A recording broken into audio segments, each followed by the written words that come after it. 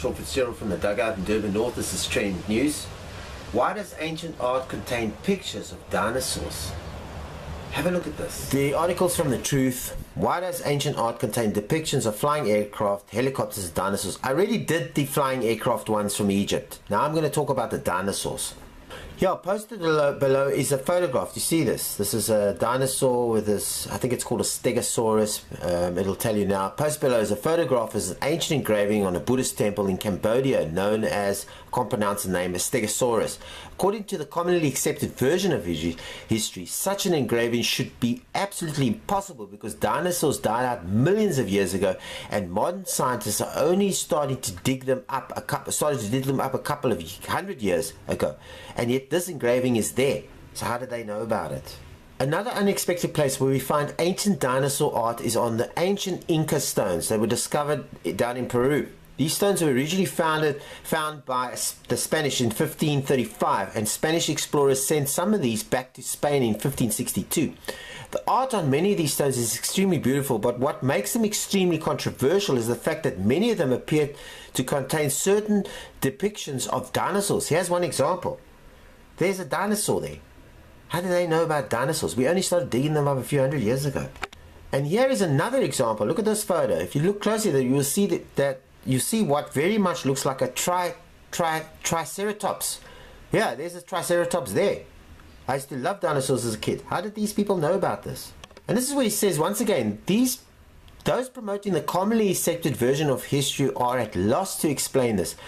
Most commonly, they attempt to explain this phenomenon away as a hoax because the locals did did start creating fake Inca stones in recent years once they discovered that tourists want tourists want to buy them.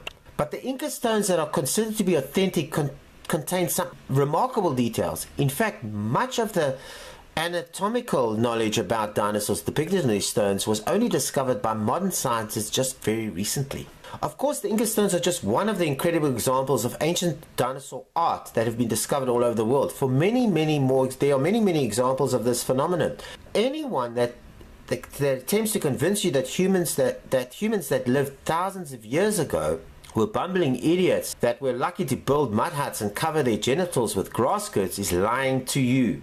The truth is that human history is incredibly complex. There are monolithic structures all over the planet that are still standing after thousands of years that remind us that great civilizations with amazing technologies once thrived. Interesting what he says here, and there's, there, there's actually evidence that, that modern humans are actually getting dumber. A Stanford University biology professor recently published a work in which he ex expressed his conclusion that humans have been getting dumber. Anyway, this is the end of the article. It's great article. It's very true there because I, I can tell you now, technology makes you dumber. TV makes you dumber. It stops you thinking. In the old days we used to read, now we watch TV. We make TV, the movie thinks for you. We don't use our imaginations anymore. There's a tri tri triceratops. They didn't know about this then. We only started digging up these dinosaurs now. So they were portraying pictures of dinosaurs that were walking around during this time. It's impossible. Look there. And this one too. I mean, a Buddhist temple here of a Stegosaurus. This thing, this thing we only recently discovered now. How did they have this? How did they draw this and they know this animal? It must have been around at that time. Don't believe everything you read and don't believe everything you see. Can tell you now, history is very complex and we don't know anything about it just yet. There's lots of people out there that want to, yeah, they were skeptical of this, they don't want to, because that, because people believe what other people say they must believe.